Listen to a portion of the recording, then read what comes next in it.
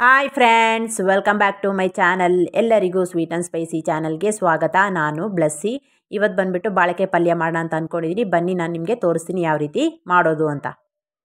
ನೋಡಿ ಬಾಳಿಕೆ ಪಲ್ಯ ಮಾಡೋದಕ್ಕೆ ನಾನು ತೆಂಗಿನ ತುರಿದು ತೊಗೊಂಡಿದ್ದೀನಿ ಅರಿಶಿನ ಪುಡಿ ತೊಗೊಂಡಿದ್ದೀನಿ ಖಾರಕ್ಕೆ ಹಸಿಮೆಣ್ಸಿಕಾಯಿ ಮತ್ತು ಜೀರಿಗೆನ ತೊಗೊಂಡಿದ್ದೀನಿ ಇಷ್ಟನ್ನು ನಾವು ಇವಾಗ ಜಾರ್ಗೆ ಹಾಕಿ ಗ್ರೈಂಡ್ ಮಾಡ್ಕೊಳ್ಳೋಣ. ನೀರು ಸೇರಿಸ್ತಾನೆ ಗ್ರೈಂಡ್ ಮಾಡ್ಕೋಬೇಕು. ಇವಾಗ ನೋಡಿ ಗ್ರೈಂಡ್ ಮಾಡ್ಕೊಂಡಿದ್ದೀನಿ ಇದು ರೆಡಿಯಾಗಿದೆ ನಂತರ ನಾನು ಬಾಳೆಕಾಯಿನ ಸಿಪ್ಪೆ ಎಲ್ಲ ತೆಗೆದು ಈ ಥರ ಕಟ್ ಮಾಡ್ಕೊಳ್ತಾ ಇದ್ದೀನಿ. ನೋಡಿ, ನೀಟಾಗಿ ಸಿಪ್ಪೆ ಎಲ್ಲ ತೊಗೋಬೇಕು. ಸ್ವಲ್ಪನೂ ಸಿಪ್ಪೆ ಇರಬಾರ್ದು ಬಾಳೆಕಾಯಿನಲ್ಲಿ.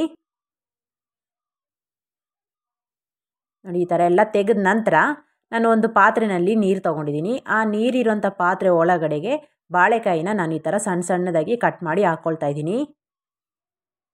ನಾವು ಹಾಗೆ ಒಂದು ಪ್ಲೇಟ್ಗೆ ಕಟ್ ಮಾಡಿ ಇಟ್ಕೊಂಡ್ರೆ ಬಾಳೆಕಾಯಿ ಕಪ್ಪಗಾಗ್ಬಿಡುತ್ತೆ ಹಾಗಾಗಿ ನಾನು ನೀರೊಳಗಡೆಗೆ ಇದನ್ನು ಕಟ್ ಮಾಡಿ ಇಟ್ಕೊಳ್ತಾ ಇದ್ದೀನಿ. ನೋಡಿ ಆಗಿದೆ.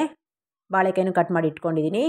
ಮತ್ತು ನಾನು ಹೆಸ್ರು ಕಾಳನ್ನು ಕೂಡ ನಾನು ಬೇಯಿಸ್ಕೊಂಡಿದ್ದೀನಿ. ತುಂಬ ಎಲ್ಲ ಬೇಯಿಸ್ಕೋಬಾರ್ದು. ನೋಡಿ ಈ ಥರ ಬೇಯಿಸ್ಕೋಬೇಕು ಹೆಸ್ರು ಕಾಳನ್ನ. ಇವಾಗ ನಾವು ಅದನ್ನು ಮಾಡೋಣ ಬನ್ನಿ. ನೋಡಿ ನಾನು ಬಾಣಲಿಗೆ ಎಣ್ಣೆ ಹಾಕ್ಕೊಂಡಿದ್ದೀನಿ ಇವಾಗ ಇದಕ್ಕೆ ನಾನು ಸಾಸಿವೆನ ಹಾಕ್ಕೊಳ್ತಾ ಇದ್ದೀನಿ. ಸಾಸಿವೆ ಒಡೆದ ನಂತರ ನಾನು ಅದಕ್ಕೆ ಕರ್ಬೇವಿನ ಸೊಪ್ಪನ್ನ ಹಾಕ್ಕೊಳ್ತಾ ಇದ್ದೀನಿ. ಕರ್ಬೇವಿನ ಸೊಪ್ಪು ಹಾಕೊಂಡ ನಂತರ ನಾವು ಅದಕ್ಕೆ ಬಾಳೆಕಾಯಿನ ಹಾಕ್ಕೊಳ್ಳೋಣ ಅಂದರೆ ನೀರಿಂದ, ನೀರಲ್ಲಿರುವಂಥ ಬಾಳೆಕಾಯಿನ ತೆಗೆದು ನಾವು ಇವಾಗ ಪಾತ್ರೆ ಒಳಗಡೆ ಹಾಕ್ಕೊಳ್ಳೋಣ ನೋಡಿ, ಎಲ್ಲನೂ ತೆಗೆದು ನಾನು ಈಗ ಹಾಕಿದ್ದೀನಿ. ಇವಾಗ ಇದಕ್ಕೆ ಲಾಸ್ಟಿಗೆ ನಾವು ರುಬ್ಬಿಟ್ಕೊಂಡಿರುವಂಥ ತೆಂಗಿನಕಾಯಿ ತುರಿನ ಅದರೊಳಗಡೆ ಹಾಕ್ಕೊಳ್ಳೋಣ ನೋಡಿದರೆ ಎಲ್ಲನೂ ಹಾಕಿ ಈ ಥರ ನೀಟಾಗಿ ಎಲ್ಲನೂ ಮಿಕ್ಸ್ ಮಾಡ್ಕೊಳ್ಳೋಣ. ಇವಾಗ ಇದಕ್ಕೆ ನಾವು ಬೇಯಿಸಿ ಇಟ್ಕೊಂಡಿದ್ವಲ್ವ ಹೆಸ್ರು ಕಾಳು? ಅದನ್ನು ತೆಗೆದು ಹಾಕ್ಕೊಳ್ಳೋಣ ಹೆಸ್ರು ಕಾಳನ್ನು ಹಾಕಿದ ನಂತರ ಚೆನ್ನಾಗಿ ಮಿಕ್ಸ್ ಮಾಡ್ಕೊಳ್ಳೋಣ. ನೋಡಿ, ಈ ಥರ ಪೂರ್ತಿಯಾಗಿ ಮಿಕ್ಸ್ ಮಾಡ್ಕೋಬೇಕು.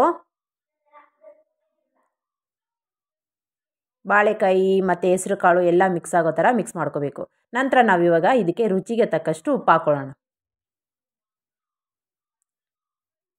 ನೋಡಿ ಈಗ ಉಪ್ಪನ್ನು ಹಾಕಿದ ನಂತರ ಚೆನ್ನಾಗಿ ಮಿಕ್ಸ್ ಮಾಡ್ಕೊಳ್ಳೋಣ.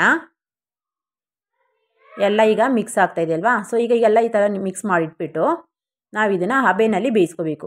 ಅಂದರೆ ನೀರು ಸ್ವಲ್ಪ ನೀರು ಹಾಕೋಬೇಕು, ತುಂಬ ನೀರು ಹಾಕೋಬಾರ್ದು. ಸ್ವಲ್ಪ ಸ್ವಲ್ಪ. ನಾನು ಇವಾಗ ಜಾರಲ್ಲಿ ರುಬ್ಬಿದ್ದೆ ಅಲ್ವಾ? ಸೊ ಅದೇ ಜಾರಲ್ಲಿ ಸ್ವಲ್ಪ ನೀರು ಹಾಕಿ ಆ ನೀರನ್ನ ನಾನು ಇವಾಗ ಈ ಪಲ್ಯದೊಳಗಡೆ ಹಾಕ್ತಾಯಿದ್ದೀನಿ ನೋಡಿ, ಇಷ್ಟು ನೀರು ಸಾಕು, ತುಂಬ ನೀರು ಹಾಕಬಾರ್ದು. ಬಾಳೆಕಾಯಿ ಬೇಗ ಬೇಯುತ್ತೆ, ಹಾಗಾಗಿ ಇವಾಗ ಇದನ್ನು ಕ್ಲೋಸ್ ಮಾಡಿಟ್ಟು ಬೇಯಿಸ್ಕೊಳ್ಳೋಣ. ಒಂದು ಐದು ನಿಮಿಷ ಸಾಕು, ತುಂಬ ಹೊತ್ತೆಲ್ಲೇನು ಬೇಡ. ನೋಡಿ ಇವಾಗ ಇದು ರೆಡಿಯಾಗಿದೆ ನೋಡಿದರೆ ಎಷ್ಟು ಚೆನ್ನಾಗಾಗಿದೆ ಅಂತ. ತುಂಬಾ ಚೆನ್ನಾಗಿರುತ್ತೆ ನೋಡಿ. ನೀವು ಒಂದು ಸಲ ಇದನ್ನು ಟ್ರೈ ಮಾಡಿ ನೋಡಿ, ಖಂಡಿತ ಇಷ್ಟಪಡ್ತೀರಾ? ನೀವು ಇವಾಗ ಇದನ್ನು ಅನ್ನ, ಸಾಂಬಾರು ಜೊತೆ ಎಲ್ಲ ಸರ್ವ್ ಮಾಡ್ಕೊಂಡು ತಿನ್ಬೋದು. ತುಂಬಾ ಚೆನ್ನಾಗಿರುತ್ತೆ. ಎಲ್ಲರೂ ಒಂದು ಸಲ ಟ್ರೈ ಮಾಡಿ ಫ್ರೆಂಡ್ಸ್ ಖಂಡಿತ ನಿಮಗೆ ಇಷ್ಟ ಆಗಿದೆ ಅಂತ ಅಂದ್ಕೊಳ್ತೀನಿ ನಾನು ಈ ವಿಡಿಯೋ ಇಷ್ಟ ಆದರೆ ನೀವು ಲೈಕ್ ಮಾಡಿ ಶೇರ್ ಮಾಡಿ ಸಬ್ಸ್ಕ್ರೈಬ್ ಮಾಡಿ ಬೆಲ್ ಬಟನ್ ನಂಬ್ಕೋದನ್ನ ಮರಿಬೇಡಿ.